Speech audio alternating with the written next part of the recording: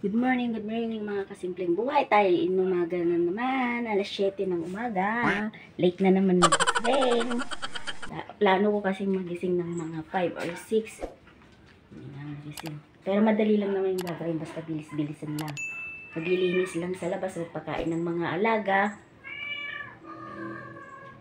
Yun na, tapos magdilig ng mga halaman. Papakita ko pala sa inyo mamaya yung mga tanim kong gulay. Nilabas ko na kasi nung isang araw, nandito lang sa loob namin, eh nahihirapan sa araw. Hindi siya masyadong naaarawan pala. So, mahirap siyang lumaki. Kaya nilabas ko na lang sinabit ko sa pader. Mamaya ipapakita ko sa inyo. At syempre, bago umpisahan magdilig ng mga halaman at gulay ng transfer sa container, magwalis-walis muna ako para mas maganda naman yung tingnan ng mga dadaanan ng mga tao kasi may mga dumadaan po dyan na pumapasok sa trabaho sa dulo. Sa totoo lang, sa umaga at saka hapon niwawalis yan kami magkakapit bahay, kanya-kanyang walis ng tapat. Pero mayat maya, maghuhulugan na naman ang mga dahon ng mangga. Kahit oras-oras mo siguro walisin yan, hindi yan mawawala.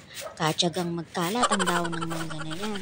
Ay kataas-taas pa naman siya. Pag namunga, hindi maabot ang kanyang bunga. Bihira. Ang pa na, ba naman ng ano, lalaglagan niya ng dahon. Kaya ang bilis mapuno yung kanal na yan. Kaya yung drainage namin sa harap, ang bilis din bumara. Ang hirap ayusin. Hindi na lang si Pangs matyagang mag, maglilinis ng drainage pag siya may time. Kailangan talagang pagtyagaan. Walisin yan.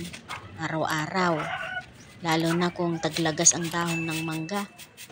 At yan lang at binibilis-bilisan ko kasi magulalaba pa ako.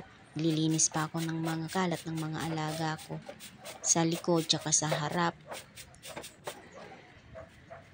At yan na nga pati ka na nilinisan ko na hanggang sa tapat ko lang. Kasi kung sinisipag ako hanggang sa tapat ng mga kapitbahay pagtatanggalin ko mga yung mga nakabara sa kanal. Pagtsatsagaan ko talagang tanggalin lahat ng mga nakalagay dyan. Nilito yung plastic ng candy, tinatanggal ko yan.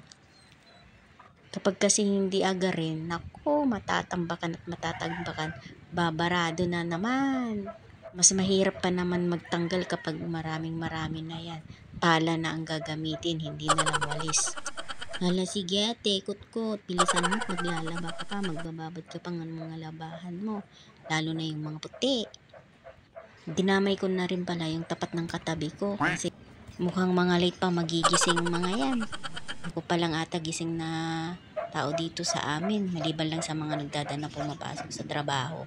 Yan na nga, inumpisahan ko ng diligan yung mga kamote. Inuno-uno na ko muna yung mga dahon-dahon nila, pinapaliguan ko muna. Kayo po pa paano magdilig? Ganito kasi ako magdilig ng halaman, uunahin ko muna yung mga dahon-dahon. Tsaka inot-inot lalagyan na, iinot-inutin kong buhusan ng mga puno nila. At ang ginamit ko palang tubig dyan ay yung mga aninipong ko kagabi na galing gripo. Hindi po ako gumagamit ng direktang galing sa gripo kasi pangit daw yun sa halaman. Nakalimutan ko na anong sinabi dati ba? Basta hindi daw maganda yung direkta galing sa gripo kaya iniimbak ko muna magdamag. Ang timba na yan, kasya na sa kanilang lahat, lahat ng halaman. Kunting shower-shower lang naman kasi bababa naman yung tubig. Inuuna ko muna pala sa taas para matuluan na rin yung nasa Kita ko baba. sa inyo, meron pa akong tanim na sitaw dito. Tsaka ang palaya. Yan, ang palaya. Sitaw. Tapos may blue terni na double ang bulaklak. Yan na nga, sumikat na si Haring Araw. Yan, maaarawan na sila. Yung mga, ang ganda-ganda ng itsura pag naarawan. Sigla-sigla. Oo siya.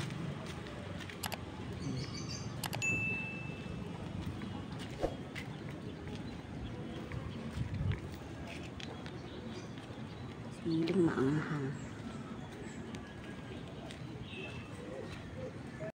At iniwan ko na lang dyan yung mga hindi nagkasya doon, dalawang talong. Tapos may tinanim akong sitaw dyan. Sitaw na lang pinalit ko yan, may akyatan na siya, may balan na. Tapos yung petsa, yung malaki na. Tapos yung mga sili sa taas na panigang. Siling panigang, dyan, eh, hiniwang ko na lang dyan. Maganda naman ang araw dyan. Yung talong kasi dito, hindi siya naaarawan masyado. Talo dyan, sa part na yan. Eh, inalis ko na. Nilipat ko sa labas. Tapos yung mga halaman ko sa loob, dito ko na lang siya ilalagay muna. Para pag maulan, maulanan naman. Yung loya, lago-lago.